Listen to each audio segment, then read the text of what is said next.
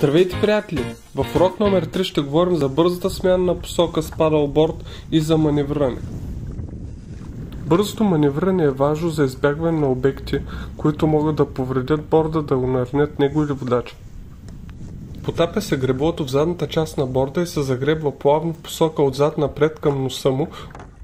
От другата страна на борда се подпомага ротацията с загребване отпред-назад. Особеното е, че ако извършим действието отляво на борда, той се завърта обратно на часовниковата стрелка, а при загребване отдясно се върти по часовника.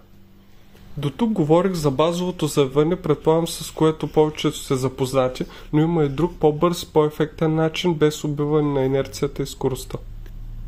Нека преминем към съществото на урока. Пристъпва се крачка назад, така че носа на борда да се повдигне от водната повърхност и се загребва с греблото в желаната посока.